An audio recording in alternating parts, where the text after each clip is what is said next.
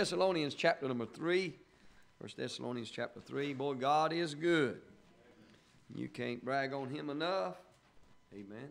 I'm glad I get to do it, amen, all the time, amen. The Lord's been good to me. Let me go around and brag on him. Boy, you can't you can't lift him up enough.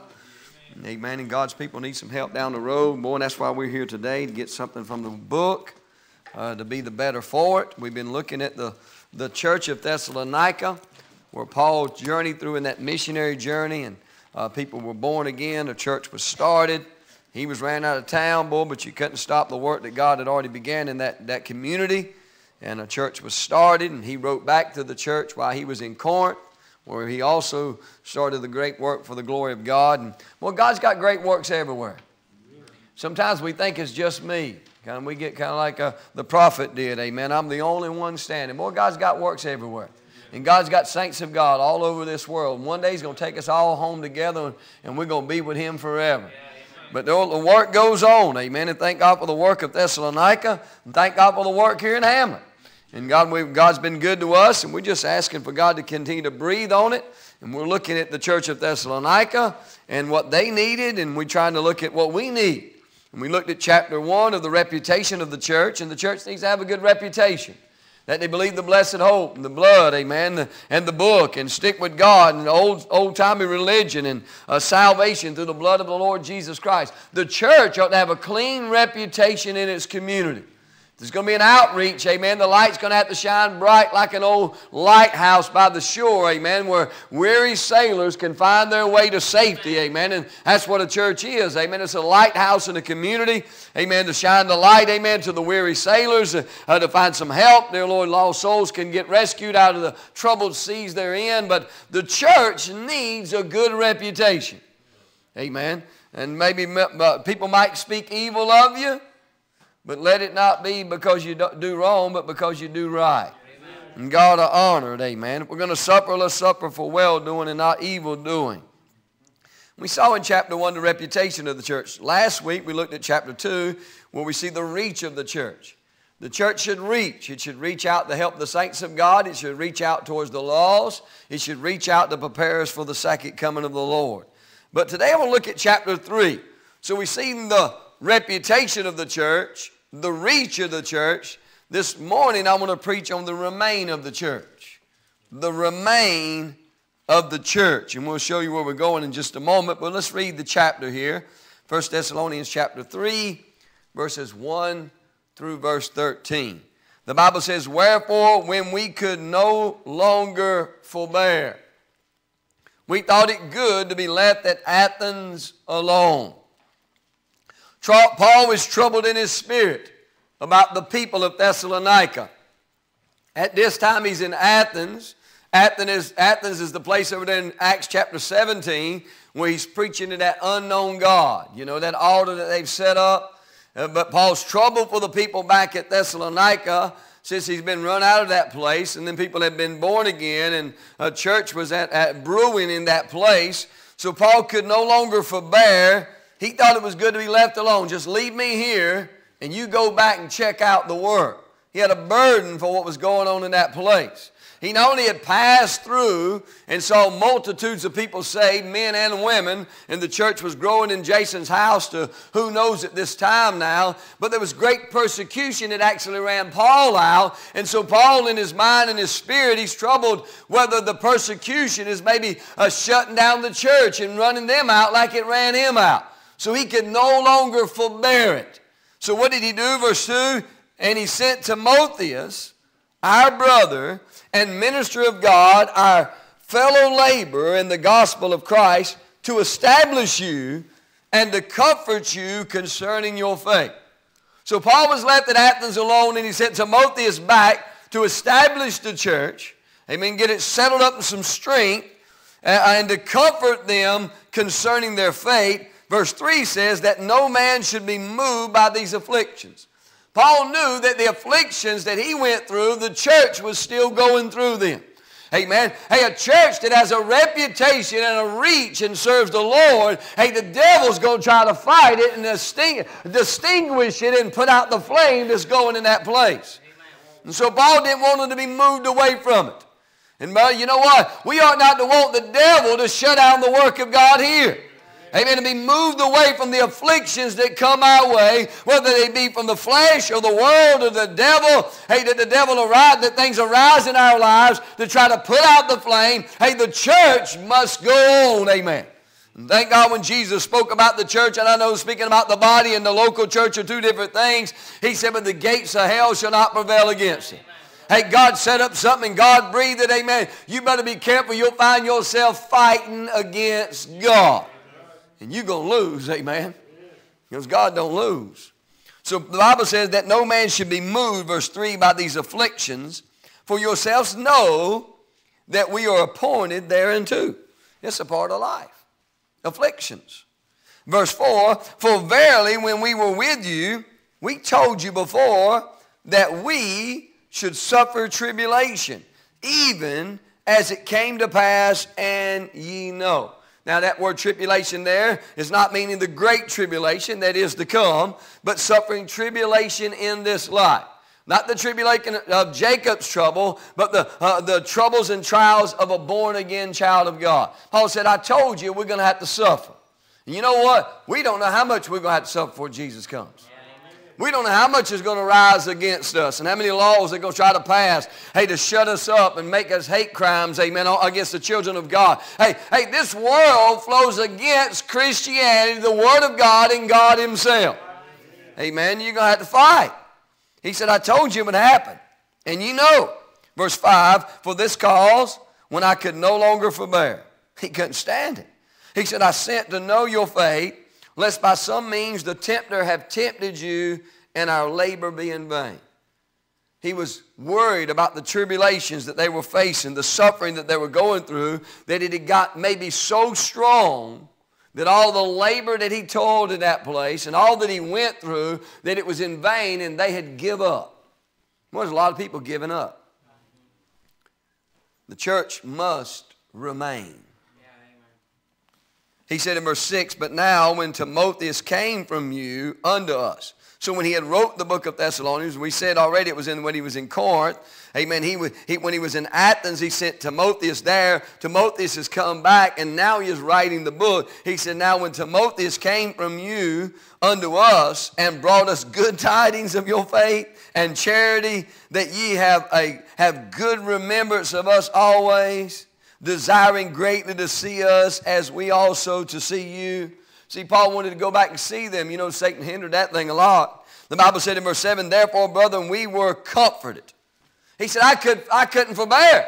I couldn't stand it, amen, in my mind and what was going on. I didn't know what was going on with you and how the suffering was there. I knew it was going to come. I told you it was going to come. But I didn't know if it had caused you to quit and not remain. But when Timotheus came back, he told me of your faith. He told me of your charity. He said, and it comforted my heart. It brought joy to my soul. He said, verse 7 again, therefore, brethren, we were comforted over you in all our affliction and distress for, by your faith. For now we live if you stand fast in the Lord. For what thanks can we render to God again for you?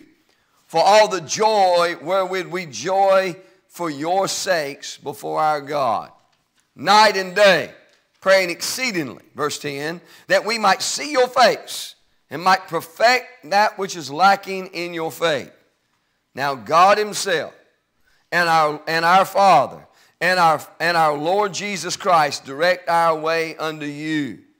And the Lord make you to increase and abound in love one toward another and toward all men, even as we do toward you, to the end he may establish your hearts unblameable in holiness before God, even our Father, at the coming of our Lord Jesus Christ with all his saints. Let's ask the Lord's help this morning. Amen. Amen. Brother Jeff Thomas, pray for us, brother, if you would. Yes, yes. Pray that you'll touch serious more, touch the man of God, Lord. Pray to God you'll lead us and guide us in all truth, Lord. How you have us to walk, Lord, and, and be a witness to thee. And may bring glory and honor to thee. In Christ's name, amen. Amen. By the help of the Lord today, we're going to preach on that thought the remain of the church, how the church remained faithful through the suffering that they endured. The word remain means this by definition to, definition to be left after others have passed. Amen. You know, there's many people passed on into glory by death, and some remain. But there have been some that have passed on away from faithfulness unto, the, unto sin and away from God, and there's still some, glory be to God, that remain. You know, John 6 66 is one of the saddest passages in the Word of God. Under this thought, it says this He says, From that time, that time, in John 6 66, when Jesus was sitting with that crowd, his disciples, the Bible said, From that time, many of his disciples now, he's not talking about a worldly crowd. He's not talking about people that don't love God. He's not talking about unsaved people. He's talking about saved disciples, those that have discipled, have been discipled in the walk with God, are faithful and separated from this world. He said, from that time, there was a time when many of his disciples went back and walked no more with him. Ain't that a sad thought?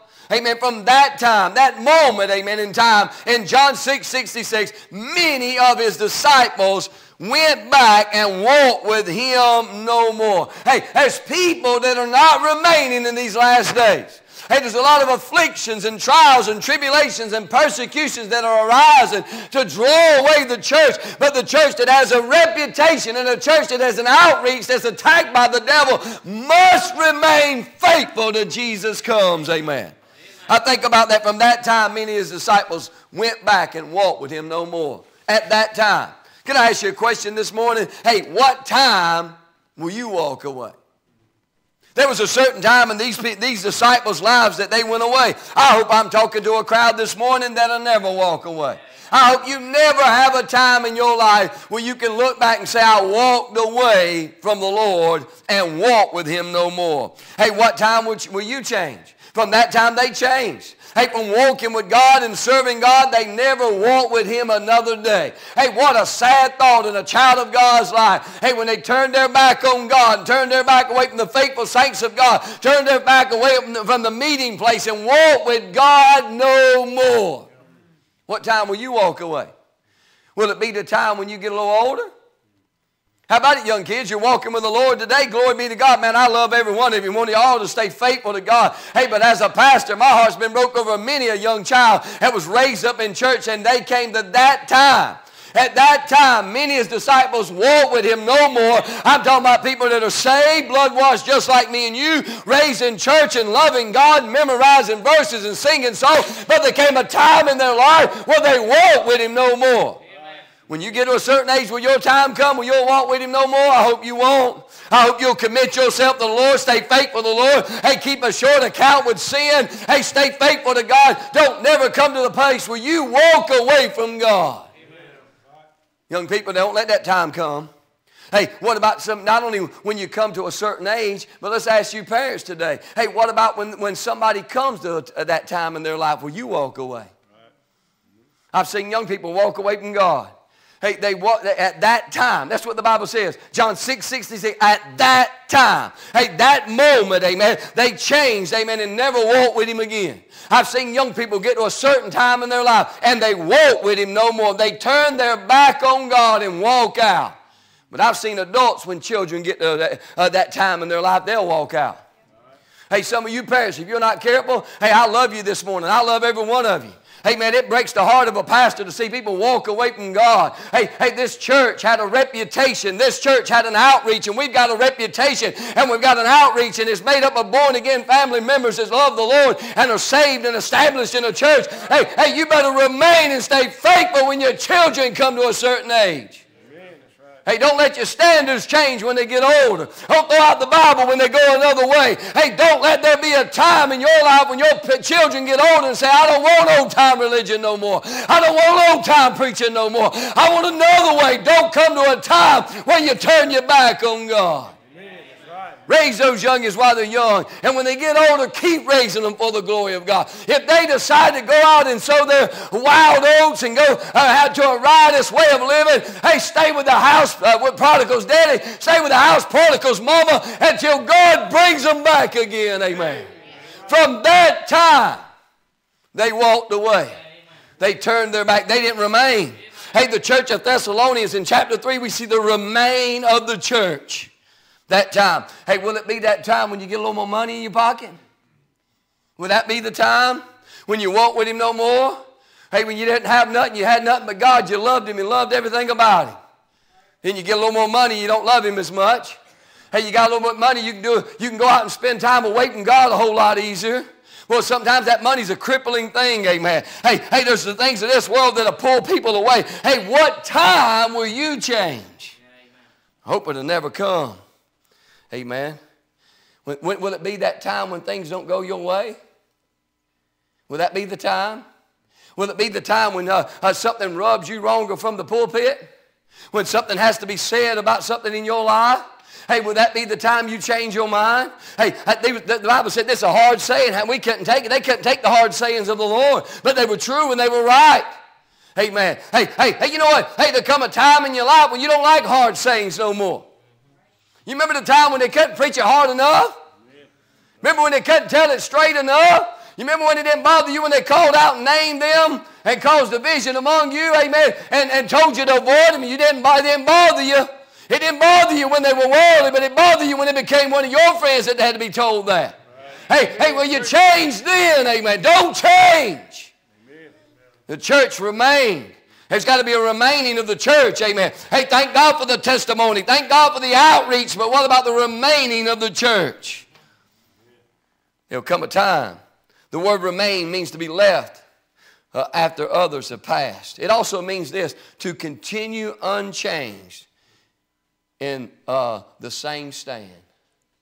To remain. You know what church got to do? We got, we got to seek the old paths and walk therein. Amen. Which is the good way. Amen. Hey, you got to stand. You got to remain. Amen. Hey, hey, Paul speak, preaching to the people of Thessalonica, talking about that church. This church was a church that remained through the persecution. I want to look at this thing three ways this morning. Number one, I want to see Paul's concern, verse 1 through 5, Paul's comfort in verse 6 and 7, and then Paul's charge in verse 8 through 13. Hey, the remain of the church. Hey, Paul had a concern for these people. Do you know what? We need to remain concerned for people. The church loses its concern, the church is going under. Paul was concerned. You saw it. He said, I can no longer forbear. Verse 1.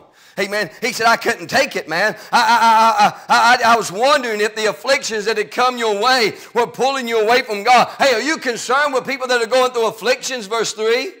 Hey, do you get to the point where I just can't forbear? I don't know what's going to happen. Hey, kind of like our sister said this morning about her brother, something's bothering her down in her spirit. Hey, she's concerned about what's going on in his life. Hey, have we lost concern for the world and people that don't know God? Paul had a concern not only for people that didn't know God, but he had a concern for the saints of God. Are you concerned at what they're going through? That maybe the devil's using it to push them away from God? He was concerned of how the persecution was affecting the people of Thessalonica. Amen. He knew they were persecuted. Yea, and all that will live godly in Christ Jesus shall suffer persecution. Hey, you live godly, persecutions are coming. Hey, you get a reputation that you're clean and born again and serving God and trying to reach out this world, the devil's going to come after you. And he came after this church, and he'll come after this church, and he'll come after other churches and other people how to be faithful to God.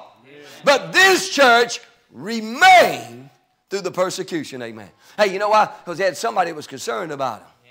Somebody that couldn't take it, they had to send somebody down there to check on them. Hey, are you concerned about other saints? Do you remain concerned about them? Hey, do you lift them up in prayer? Hey, do you go by and try to give them an encouraging word? Hey, do you tell the Lord about them? Amen. Hey, are you doing your part to help those that are afflicted? Amen. Hey, how God has comforted you through tribulation. Are you using it to comfort others that are going through the same tribulations where you've been? Hey, hey, God put you in a church that help comfort some others. Amen. Paul had a concern. Amen. He told them it was going to come. You know what? They ain't no need lying to nobody. Hey, there going to be troubles in this life. Hey, young people, listen to your preacher. There's going to be some hard times. It ain't always going to be roses. It ain't always going to be smooth sailing. There's going to be times that storms are going to rise up on that uh, uh, sea of life. There's going to be times that something's going to stick you, amen. Hey, sometimes you'll do the sticking, somebody else will stick you, sometimes it'll be the devil. Hey, but there's going to be troubles. Oh, said, I told you they were going to come. It ain't easy serving God, amen. But it's the best thing to do, and it's the most peaceful thing to be in is the will of God, whether it be troubles or not. Hey, hey, but troubles is going to come your way. Paul preaching to those people where, he, where he's with them three Sabbath days. He's there three long weeks preaching to those people, and they were being saved and being born again. He was letting them know out of the gate, hey, I know you're glad you're saved, and I know it's good to be born again. Hey, but there going to be troubles in this life, amen. There going to be people that don't understand. There going to be people that don't want to be around when you get to serving the Lord. He was concerned, uh, but he himself remained faithful. Do you know what happens sometimes? The Bible said in verse number one, wherefore when he could no longer forbear, he was concerned about it. The Bible said, we thought it good to be left at Athens alone. You know what Paul did? Paul, Paul sacrificed and sent Timotheus away from him at Athens. He was all by himself. Now, you know it's not good to be alone. But he had such a burden from those people, he thought, well, you know what? If I can send Timotheus back there, he'd help them a whole lot better than he can help me. He was concerned. He was so concerned that he would sacrifice. He would give of himself. But you know what? He didn't let his concern, listen to me, cause him to stop. You know what happens sometimes in the church? People get concerned over others. And glory be to God, you need that concern. But sometimes what we do when we get concerned, we give up. We quit. People say, Well, I got troubles with my marriage, so we got to stay home and try to fix it. You're going to quit? That ain't going to help it. I mean, you need to be at church. That's where you need to be. Hey, Paul remained at Athens. He stayed faithful. He, you read over there in Acts 17, he's over there preaching to those people. He didn't quit. He didn't lay down the towel. He was concerned. He was burdened. He was troubled in his spirit about what was going on, but he stayed faithful, amen. Hey, hey, you know what the devil can do? He can take that concern, which is a good thing that you have, and cause you to quit. He stayed faithful even though he was by himself. Hey, and sometimes, amen, it'll feel like you're all alone.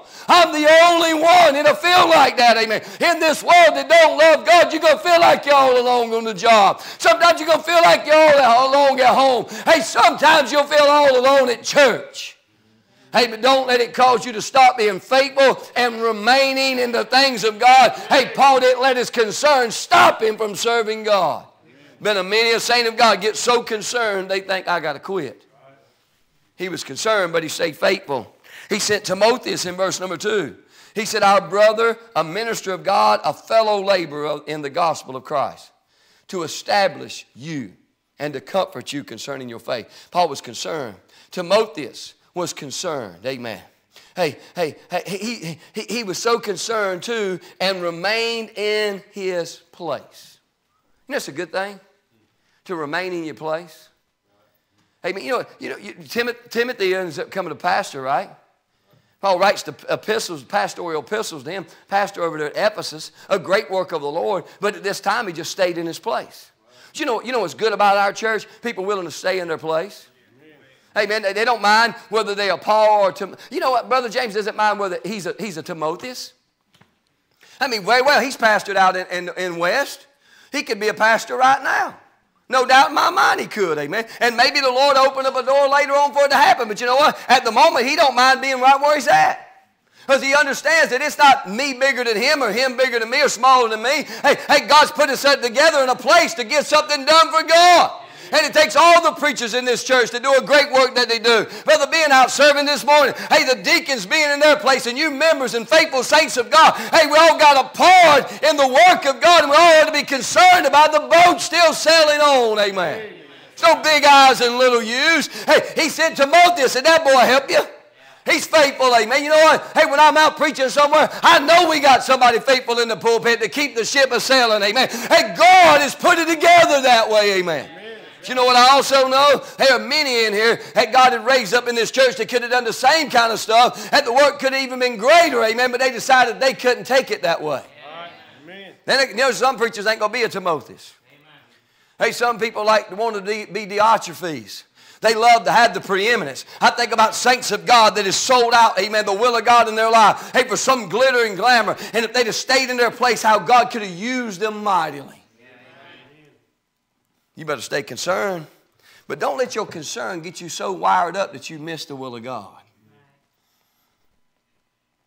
Paul was concerned. He's concerned about the persecution. He's concerned about the tr- trouble that they were facing. Timotheus was concerned and was willing to do his part. Amen. Hey, hey, hey, hey, let me, let me read you this. That, that, that. What's bad when you can't read your own writing?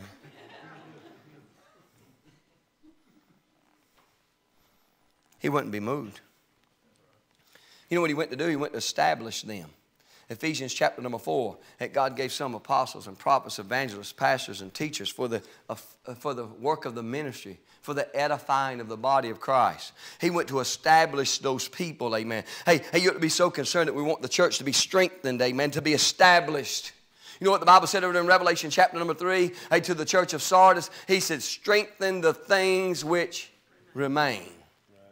I'm talking about the remain of the church. There were some things the church of Sardis had lost. There were some things that went down. There were some standards that maybe went backwards. There were some people that went away. Hey, hey, but uh, John writing to the church of Sardis by the inspiration of God, he said, hey, boys, hey, strengthen what remains. Hey, thank God for what you've got. Hey, strengthen it and girden it up and establish it and let it stand. Hey, take what you've got and use it for God. Amen. Hey, some of you here this morning have lost some things and some things went away from you. Hey, but take what you got left and say, by hell or high water, the devil ain't getting what I got. What remains is ours, and by God's grace, we're going to keep it and establish it. Amen. Hey, strengthen what remains. You say, I lost some of my testimony. Strengthen what you got left. I've lost some of my family. Strengthen what you got left. If you're not careful, you'll concentrate on what's gold and lose what you got left. That's what happens. We, we, we are so concentrated on all the bad that's happened in our lives that we can't look at all the good God's doing and we lose what's left. Don't lose what you got left. Hey, don't get so brokenhearted, amen. You ought to stay concerned and stay burdened, but don't get so brokenhearted over some of those children that are gone and lose the ones you got left. Strengthen what remains. Hey, take what you learned through that and try to instill it in them that you won't lose some more. That's what we need. Amen. Somewhere we got to break the mold. Yes, some leave. Yes, we lose some. Hey, but don't lose what we got left. Let's keep the young ones we got left. Let's keep the older ones we got left. Let's keep the marriages together that we got. Let's strengthen what remains. Amen. The church had a reach and it had a reputation, but this church remained. He remained concerned. Paul had a concern, but number two, Paul's comfort. Look in verse 6 and 7. He said, Now when Timotheus came, he said, Man, I was all tore up about this thing. You've been all tore up about something? And you find out, man, it wasn't as bad as you thought it was. And you go, glory be to God. You we get one of them calls? We need to talk. Preacher, can I talk to you? I want help. I've heard this one. And then it ain't what you thought. Amen. Glory be to God for those times. Hey, Paul said, Man, I couldn't forbear. I didn't know what was happening. Timotheus come. I don't know when he first saw Timotheus what he thought, but when he began to talk, man, it began to flood his soul with joy. Hey, man, hey, you know what I'm always worried about when I'm going somewhere? Where's God's people at? Are are they at church? Is everybody in their place? Do we have any visitors? Is God doing something? Amen. That's what I want to know. Amen. Hey, that's something to encourage your heart. Amen. To keep going on for the Lord. Hey, he said, when you came back, he said in verse number six, but now when Timotheus came from you unto us and brought us good tidings of your faith and charity. He said, you got good faith and good charity. Boy, ain't that good. Hey, faith in God and charity. Hey, he said it was good. He said that the good uh, remembrance of us always desiring greatly to see us, that we may, uh, uh, that we also to see you. He said, You know what? When Timotheus came and said, Boy, let me tell you about their faith. Let me tell you about their charity. And let me tell you, Paul, they can't wait to see you again. They want you to come back. You were such a blessing to them. Amen. He said, Therefore, brother, in verse 7, we were comforted over you in all our affliction and distress by your faith. Hey, Paul was comforted. John said it like this in 3 John, verse 4. He said, I have no greater joy than to hear that my children walk in truth. You, you, you, want, you want to bring joy to one another, the fact that people stand faithful to God. That the remaining, that people in this building have went through so many trials and they're still in there with God. I'm preaching to people this morning that have been through multitude of afflictions and trials and tribulations of life, have buried loved ones, have went through troubles and trials of sickness, have been through trials of, of financial hardship, has been through hardship of people that's broke their heart and children just went haywire. But you know what? I'm looking at a crowd today that have stayed faithful. They remained and said, hell or high water, by God's good grace, we're going to stay, we're going to stick with this stuff. And that brings comfort others. Amen. I was comforted over the fact that yes, they were persecuted, yes, there was affliction, but they're sticking in there with God. And I could go down the aisles this morning one by one and tell you testimonies, and we know them as brothers and sisters in Christ in this body of believers here at this church. Have people that have been through hardships that an average person would have threw in the towel and gave up, but they stayed faithful, amen, and they remained and strengthened what they had left, amen. Hey, let me encourage you this morning. Hey, hey, stay and remain faithful to the things of God. Remain with a concern and remain with comfort. Yes, it's hard, but God is faithful. Amen. Yes, we've lost, but thank God we've gained. Yes, there's been trouble, but thank God joy is coming the morning, amen. Hey, thank God, amen, the sun rose the next day. Hey, God's brought us through, and He's going to bring us together one day, and it'll be forever with the Lord, amen. He remained comforted. Amen. He was glad to hear that the children walked in truth. It brought him joy, verse number nine. What thanks can we render to God always for you, again for you, for all the joy where will we rejoice for your sakes before our God. It brought him joy. Why our hearts break over people that don't remain, and it does. There's great joy in seeing sinners saved and saints still growing in the grace of God. I'm sure there were probably some news that's not recorded here that some of them gave up. You're not going to spend long without finding people that just quit. That time comes and they walk no more and it breaks our hearts. Amen. And here's what the devil tells that crowd, though nobody cares. And what's sad about the whole thing is the devil bewitches them and pulls them away and then turns you around to being the enemy of them. And you're left there crying and brokenhearted and concerned about them while the devil's telling them you don't care and you're too hard. Well, the devil's a liar and he don't quit. You better learn that devil don't quit. Hey, hey, you listen to me, Dakota. There'll come a time in your life the devil will try to turn you against me and get you to hate your preacher. Amen. I'm going to tell you right now that devil's a liar. Don't you listen to him. I love you and want you to serve God and love God and get your wife one day and raise some children to the glory of God if God tarries. Hey, hey, don't let the devil lie to you. He's a liar. Amen. The father of it. He's going to try to turn you back against you. He's going to tell you girls your preacher don't care. He's a liar is what he is. Hey, God cares and God's people care. Hey, remain faithful through it all. Amen. There's comfort in those that stick it out with God. Hey, man. Hey, hey, he, they brought him comfort. Yes, there was hardships, but there was comfort and joy in those that remain. Hey, we see Paul's concern, Paul's comfort, uh, uh, but we also see Paul's charge. He's charging them. What's he going to charge them? Strengthen the things which remain. Verse 8 through 12. He says, And now we live if you stand fast in the Lord. You know what he's charging them in verse 8 to stand fast? You know what he's charging them? Look in verse 10. Night and day praying exceedingly that we might see your face and might perfect that which is lacking on your part. Hey, his charge is that he wants them to stand fast and he wants them to stay perfect.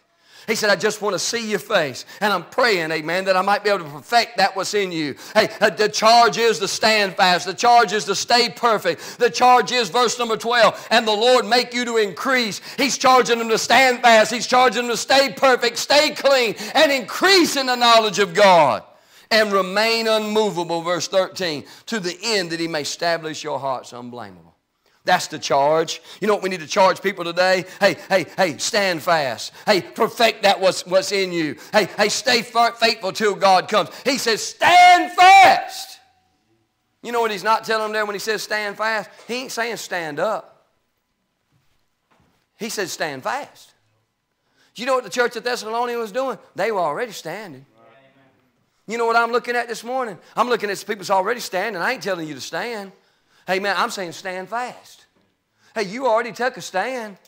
Just keep standing That's what he's saying when he says stand fast. He ain't saying get up. Maybe there is some in the building this morning that maybe need to get up and make a stand. But what about you that already have a stand? Hey, the church of Thessalonica already had a reputation. They already had an outreach. And I'm talking to people this morning, you've already got a good reputation. And you got an outreach, amen, for the world. Hey, hey, but I'm telling you this morning, the church needs to remain and stand fast, amen.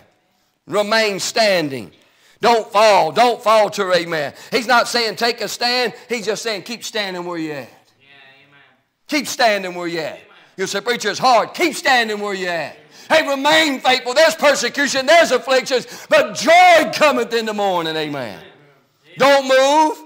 That's what he's saying. Don't falter. Don't waver. Don't back down. Don't go back. Stand. Fast. Hey, hey, how do you remain standing? Remain standing for the book. Hey, man, it still works, don't it? Hey, remain standing for the blood. It still saves. Amen. Hey, remain standing for the blessed hope. He's coming again. It's amazing when he writes this book back to Thessalonians. Out of these chapters, every chapter he mentions the return of the Lord. He's coming. You know what the church needs to remember? He's a coming. He's reminding them he's coming.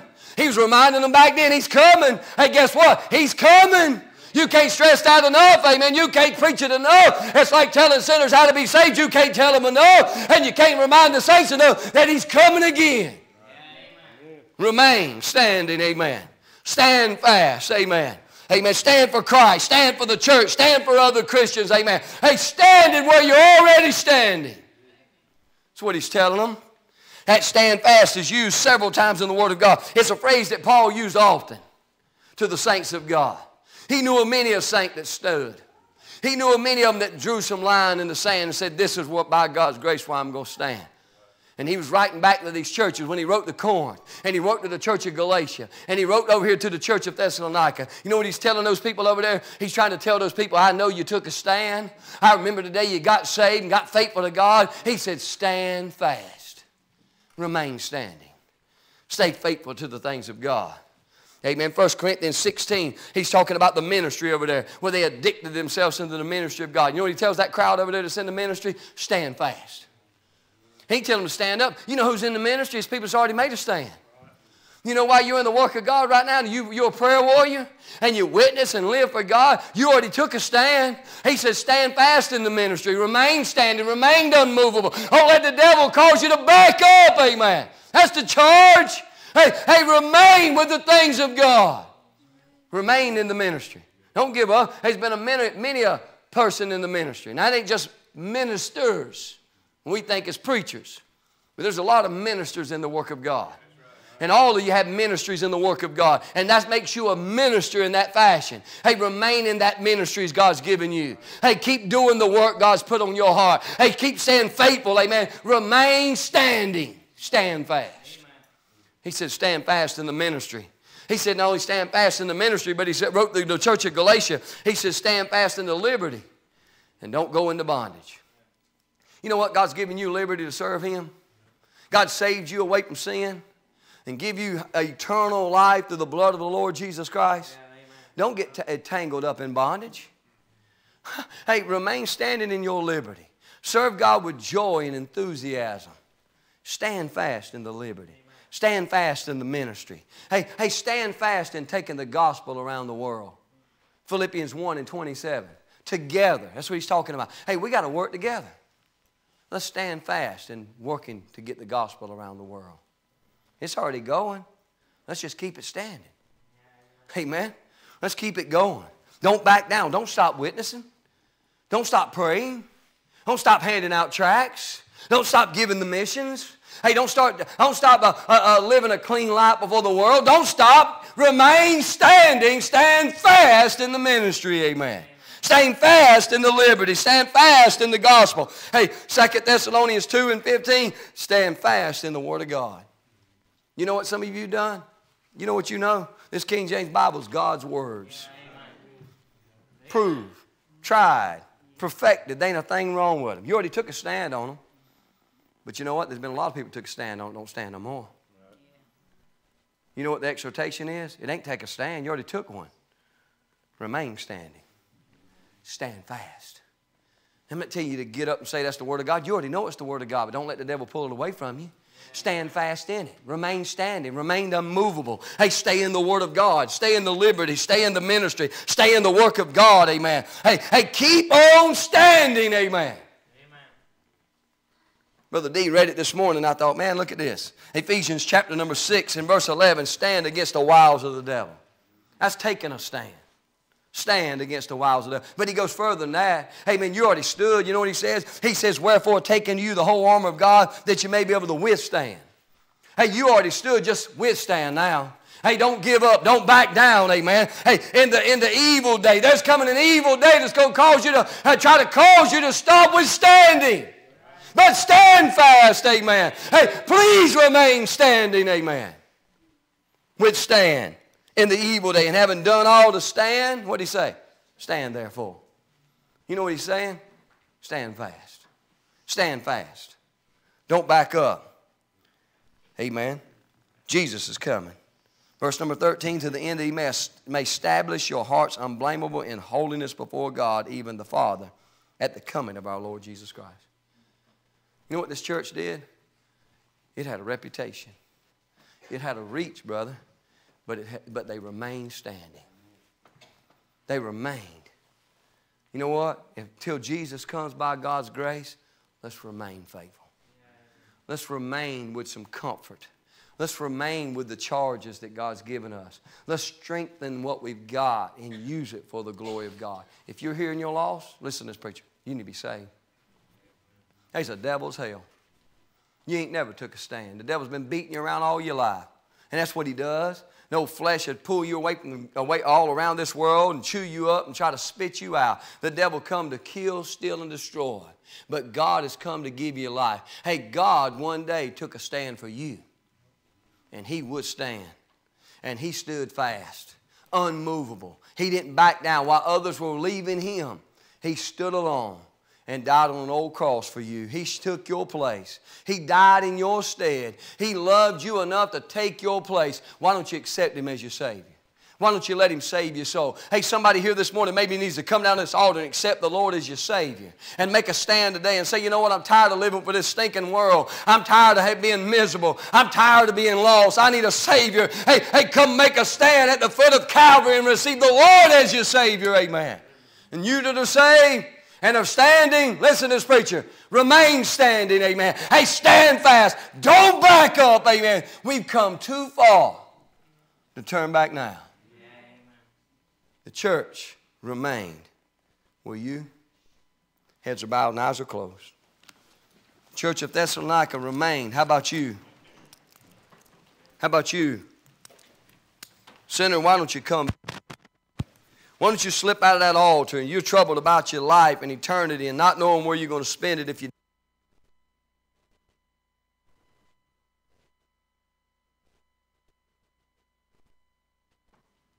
old, listen to me, that old devil don't play fair. What misery he's got you in, it'll get worse than that. Why don't you come?